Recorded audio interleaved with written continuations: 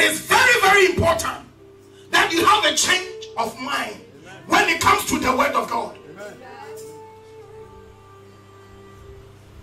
You can pray, you can do whatever, but when the change of mind has not taken place, you worry yourself.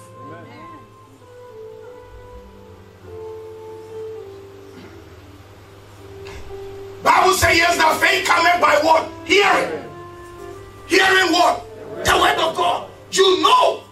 Hallelujah. But then you come to Romans, it says that by the renewing of what? The mind, because the spirit may get it. Hallelujah. But the mind needs to come to the understanding of the spirit for something to take place.